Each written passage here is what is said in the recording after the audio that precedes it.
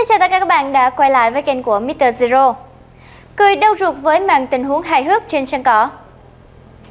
Năm 2017, tiền vệ Casemiro đã có pha ăn vạ rất hài hước trong thất bại 1-3 của Real Madrid trước chủ nhà Tottenham ở vòng bảng Champions League phút 38 hiệp 1, trận đấu giữa Tottenham và Real trên sân Wembley.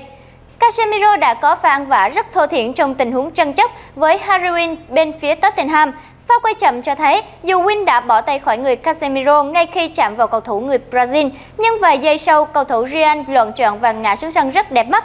Ở pha bóng này, trọng tài chính không bắt lỗi ăn vạ của Casemiro và các còi thổi phạt cầu thủ Tottenham. Chính điều này khiến không ít người hâm mộ trên sân Wembley bức xúc.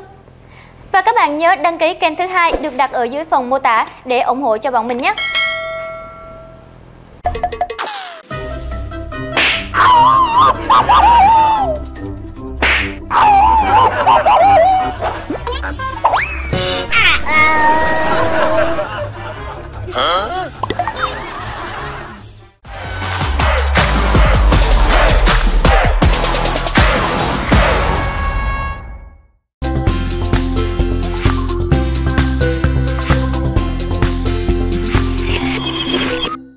Cuộc sống luôn đầy rẫy những khó khăn, áp lực, những điều buồn bực khiến chúng ta luôn bị đặt trong tình trạng căng thẳng, mệt mỏi và thậm chí chán chẳng muốn nói chứ chưa nói đến cười.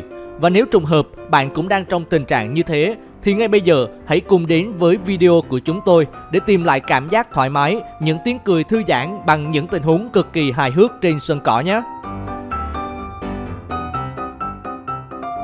Điểm đáng chú ý nhất trong trận Real thua Tottenham 1-3 tại cúp C1 hồi năm 2017 đó chính là pha ngã vờ cực kỳ thô thiển của tiền vệ Casemiro. Đó là tình huống ở phút 38. Casemiro bị Harry Winks chạm tay nhẹ vào người nhưng sau đó tiền vệ của Tottenham đã rời tay ra ngay.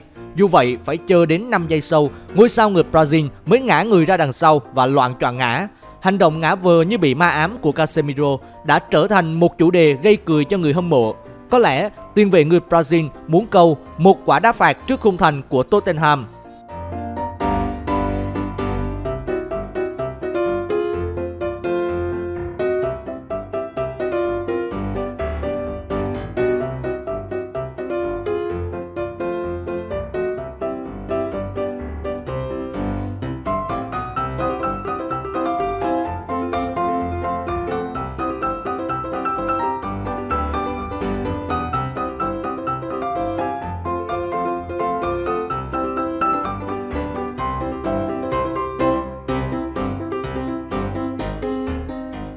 Những trận đấu đỉnh cao luôn thu hút được sự quan tâm của người hâm mộ bằng những pha bóng, những bàn thắng đẳng cấp.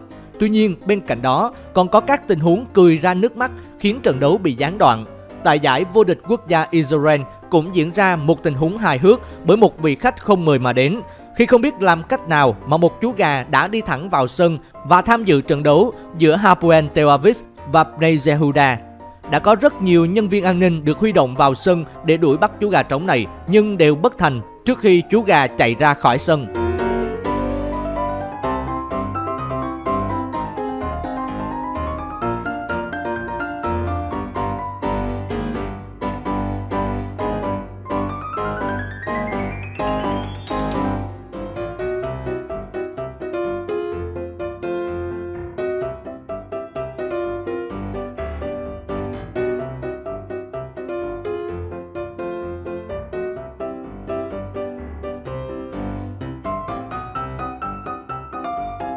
Trận đấu hồi tháng 10 năm 2019 giữa Budapest Honved và Videoton tại giải vô địch quốc gia Hungary đã xảy ra một tình huống cực kỳ hài hước ở phút 55.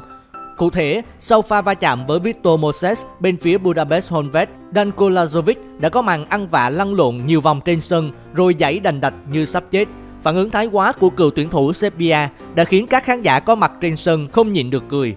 Đáng tiếc thay, trọng tài chỉ cho Videoton một quả đá phạt và không có thẻ phạt nào dành cho Victor Moses. Ngay sau đó, Lazovic vẫn có thể tiếp tục thi đấu bình thường.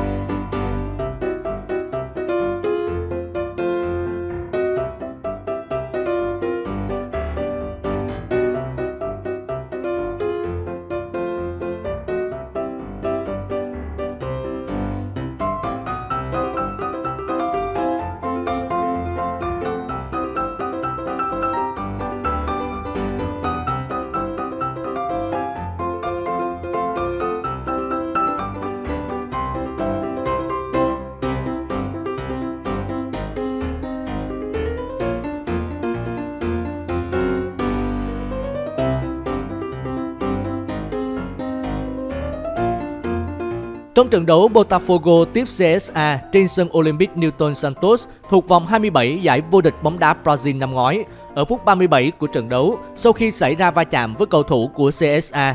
Tiền vệ người Chile Leonardo Valencia đã ôm chân lăn lộn trên sân ra vẻ rất đau đớn. Tuy nhiên chỉ vài giây sau đó, khi bóng vừa lăn đến chân, Leonardo Valencia lập tức bật dậy rồi dẫn bóng truyền về phía đồng đội. Hành động ăn vạ lộ liễu này đã lập tức gây sốt trên mạng xã hội với nhiều bình luận hài hước.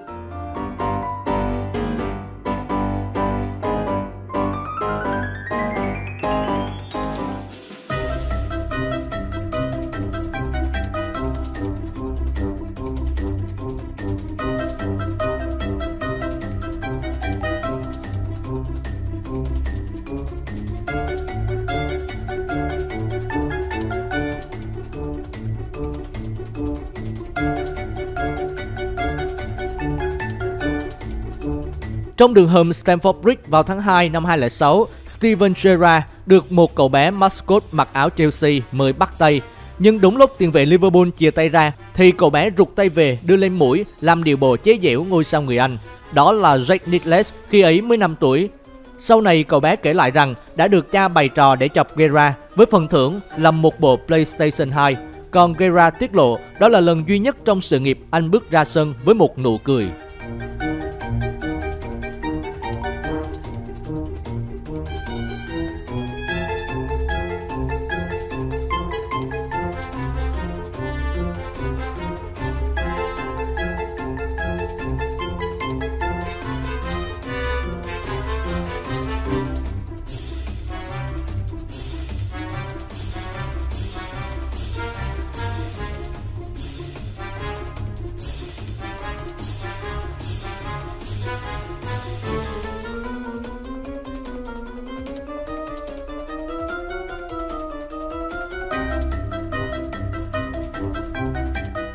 Tình huống hy hữu này diễn ra trong trận đấu giữa Armenia và Đan Mạch tại bảng B vòng loại World Cup 2014 khu vực châu Âu.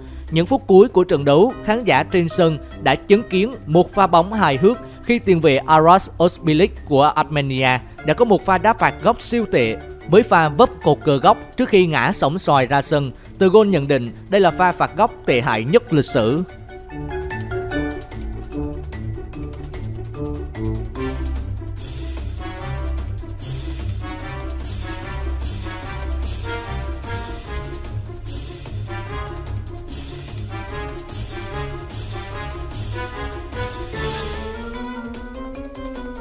Nổi tiếng với những pha đảo chân như múa khiến đối thủ chóng mặt, nhưng cũng có không ít lần Cristiano Ronaldo rơi vào tình huống dở khóc dở cười với pha xử lý hỏng như thế này.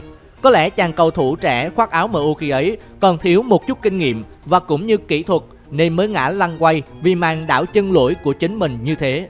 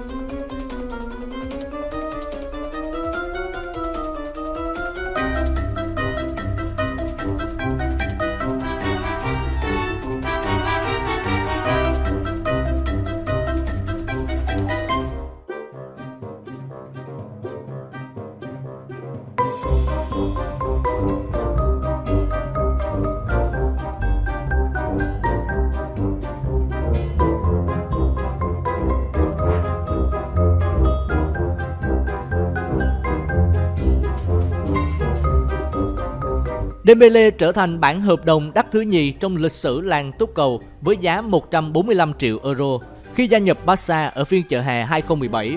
Không những đến trễ giờ, Dembele còn khiến fan ngao ngán với những pha tân bóng thua kém cả những cầu thủ nghiệp dư như thế này.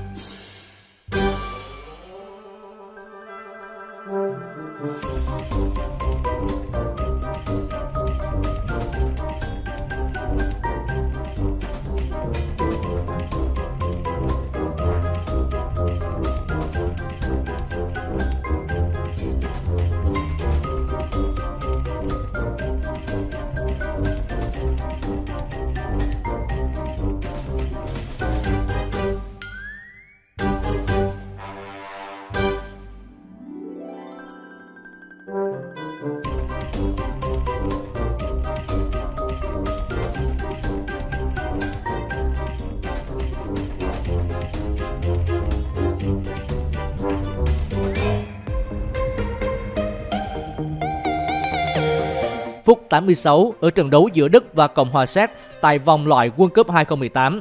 Neuer đã lấy chân sút bóng ra khỏi lưới, tuy nhiên trái bóng đã bật trúng mặt của người gác đền thuộc biên chế Bayern Munich. Tình huống này đã được quay lại và tung lên các trang mạng xã hội, khiến cho các cổ động viên được trận cười vỡ bụng. Hy vọng những khoảnh khắc hài hước và thú vị vừa rồi có thể mang lại tiếng cười cho các bạn. Nếu thấy video hay, nhớ nhấn like và subscribe để ủng hộ cho kênh. Cảm ơn vì đã theo dõi. Xin chào và hẹn gặp lại.